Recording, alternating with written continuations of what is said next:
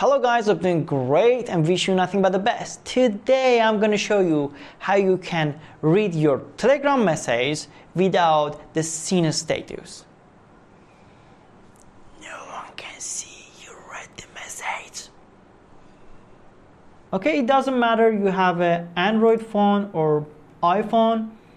All you have to do is open the Telegram app and then you can see we have channel, private chat and group all we have to do is uh, press the profile picture and hold it for a second.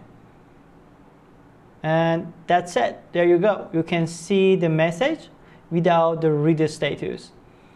And also it is correct for channel and group. That's it.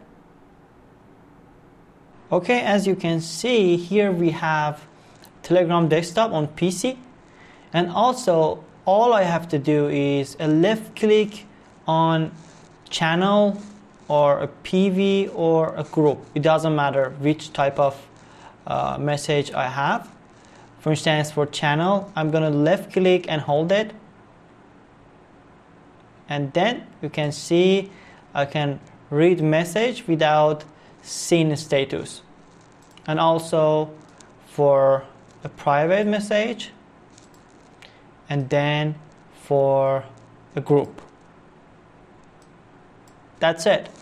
If you want more tips and tricks or tutorials like this, don't forget to subscribe.